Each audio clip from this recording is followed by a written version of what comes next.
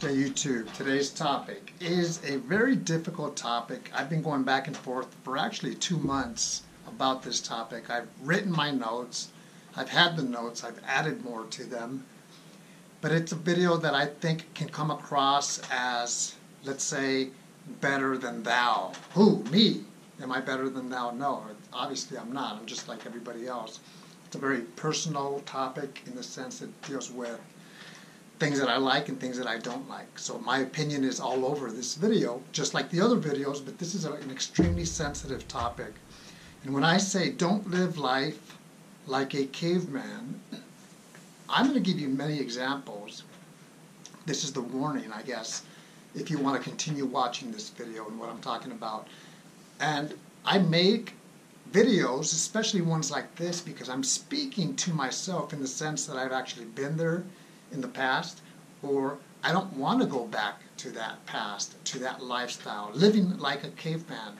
So let me read something to you real quick as I get started. A caveman is a stock character based upon concepts of the way in which Neanderthals, early modern humans, or archaic humans may have looked and behaved. The term origina originates out of assumptions in other words, we as individuals have assumptions about what it was like to be a caveman, about the association between early humans and caves, most clearly demonstrated in cave paintings. Cavemen are simultaneously shown armed with rocks or cattle bone clubs, unintelligent and aggressive. They are generally depicted in art and literature as bearded and covered in hair, and often wielding clubs and dwelling in caves. Whether this is true or not, it's something that if you ask someone to describe what a caveman looks like, what a caveman would act like, most likely you would get very similar responses, whether this is true or not. A, qua- excuse me, a cave dweller, especially of the Stone Age, someone who acts rough or in a crude manner. You've probably seen commercials, so easy even a caveman can do it. Our perception usually is that cavemen weren't smart. However, I don't know. I, I speak for myself. I don't know if that's accurate or not. My analogy is to focus on the perceptions that we as individuals may have on cavemen and how that relates to how we live today in 2000 fill in the blank, the year. This video is not intended for me to offend anybody in any manner with my examples. So let's get started with my examples. Obviously, I'm going to begin with the financial aspect of living like a caveman. And then I'm going to take it outside of financial and just everyday lives. I'll give you a few examples. An individual may live like a caveman if he or she does not have a bank account for whatever reason. And I'm talking about adults. I'm not talking about children or even teenagers. I'm talking about adults. In 2017, 2018 is just a few days away, we have to have a bank account. When I say we have to, no one's going to force us to have one, but let's get with the age, with the times, and have a bank account. That's a very tough thing to say for someone who doesn't have a bank account for whatever reason. They don't want to hear that, but it, again, my intention is not to hurt anyone with my words. Don't live like a caveman if we overdraft. And believe me, a lot of the examples that I'm talking about, I used to do in my early 20s. Overdraft, that is expensive. That puts us under. And then we owe the bank, and then we owe them their fee as well. So overdrafting is not a good option I've told my children that, you know, it's better to call the bank and say, do you offer overdraft protection? And the answer is going to be, yes, we do. Stop that. Block that. Because if you don't have the money, you shouldn't be using your card, whether it's your debit card, and it should block it. And I'd rather get embarrassed and say, your card has been declined. Another example, living like a caveman, is if you write checks, and I realize most of the young people don't write checks anymore, but they continue to bounce and bounce and bounce. That's not a good thing. Or if we as individuals go to a check cashing place because we don't have a bank account, and so now we're going to have to pay someone to cash our our check, whether it's a gift from someone or our paycheck. Let me give you another example, financial example. When I was in my early 20s, I wouldn't register my car on time for the next year, re-register. And one time, one time I took a sticker off somebody else's car for the year and put it on my car, and I got caught.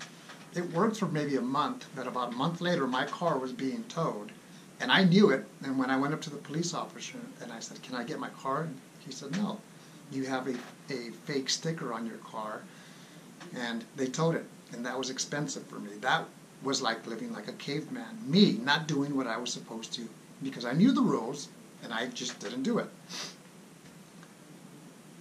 Living like a caveman is knowing what we need to do, but for whatever reason we don't do it. Whether it's we don't care, we're not motivated, whatever the reason is. Let me give you an example. Cell phones. I have my cell phone right over here. This has a lot of information. It's like a mini computer.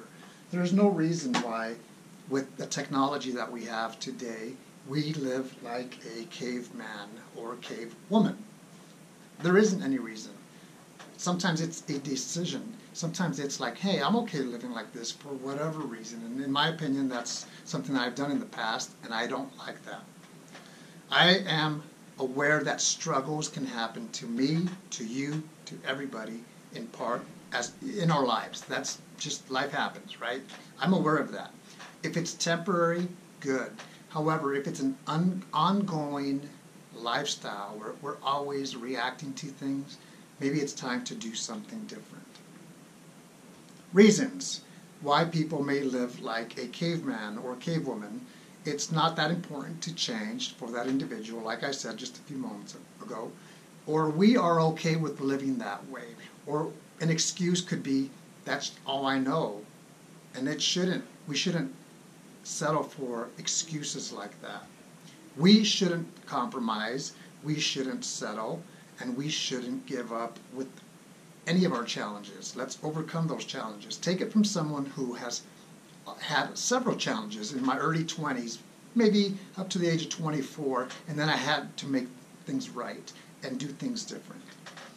If we are living in a fog, think of it like that, let's try to get out of that foggy area because we can't see our own hand that's right in front of us. Let's get out to where it's clear, even if it's an ugly clear, and say, okay, now we know where we are, but we're going to make this better than the ugly example. If we are lost in our lives, at least we know we are lost. Now, what's next? What are we going to do to improve that situation? What is our vision? And whatever that answer may be, I will say start off slow and increase that speed, increase that motivation to make things even better. Other examples of living like a caveman, and it's harsh, it sounds harsh, it's not intended to be harsh, is living in debt, rent to own businesses, and having the latest and greatest things even when we can't afford it.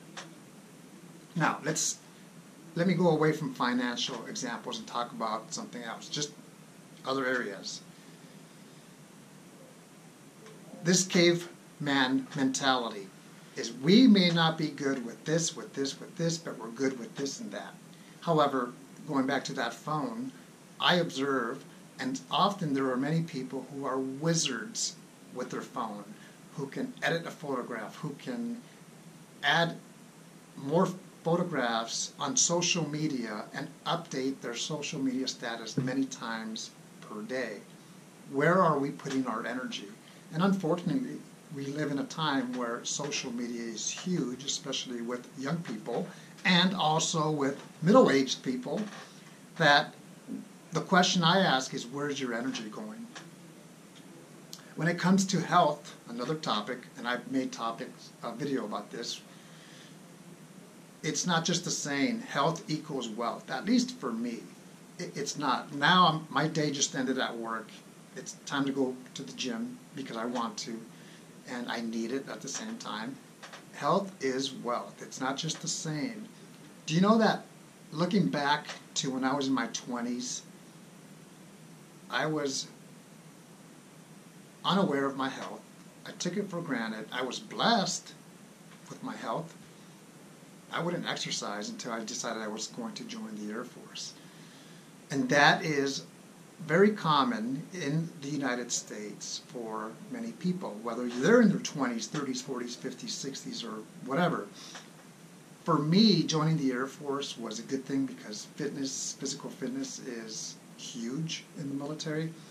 And I saw the benefits that I could get personally, not just because it's a requirement in the Air Force, but because I saw the stress go down. I saw the benefits of being consistent. My weight doesn't fluctuate.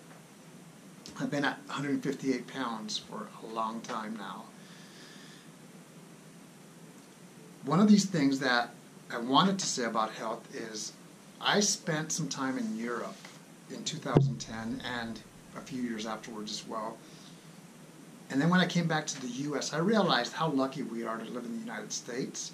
I also realized how sometimes a lot of people are overweight here in the US. And that goes around the world as well, but because of the lifestyle that we have, because of the blessings that we have, that often people don't realize how blessed we are with our health when it until something negative happens to our health, until we're affected with our health. So it's a very touchy subject as well. Finances and health and people's weight and my weight and your weight. It is a touchy subject. So I understand. Again, I'm not coming from pointing the finger or feeling that I'm better than thou or him or her. It's not about that. And I've heard this a joke.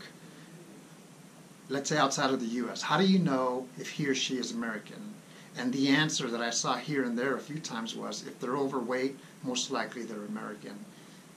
That's not true for all Americans. There is that's that's just not the case. But it's one of those things that how accurate was that that joke or so-called joke? The million dollar question that I want to ask you, that I ask myself, is are we taking care of our health with exercise, time for ourselves to go for a walk, to go for a jog, to lift weights, to do whatever it is that we can within our limitations physically, and our nutrition. I yesterday was a day off, and I had a bison burger in Breckenridge in the mountains. But today, I just want to make sure that I eat something that's healthier, to include oatmeal. Don't get stuck with the attitude of that can't be fixed or I can't I can't be fixed. That's not a good thing. That's another excuse as well.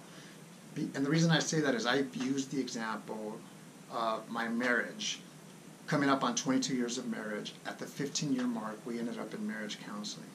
And it's something that we needed to do and has blessed us seven years later because we're using those tools.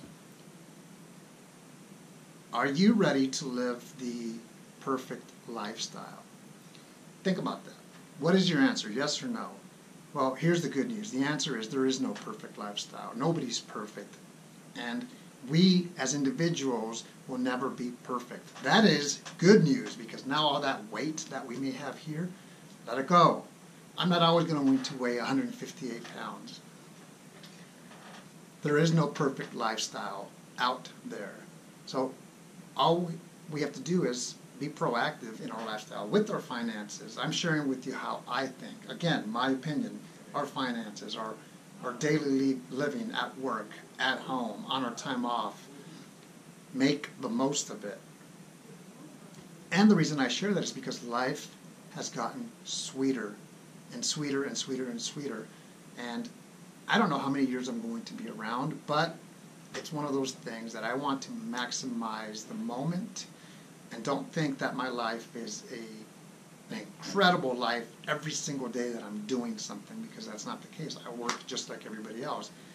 Somebody shared with me in a conversation today something that he said to me about myself, and he said, I like the energy that you have, the excitement for life. Even at my age. And the funny thing is, I'm 46, he's 46, we're just a few weeks apart in age. And to me, that was a compliment. And I was like, wow. I said, sure, thank you. But it meant a lot more than a thank you.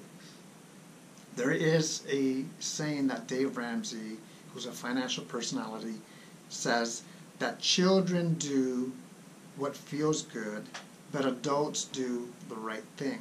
It's not a verbatim quote, it's somewhere around there. But do adults do the right thing? Some do, some don't.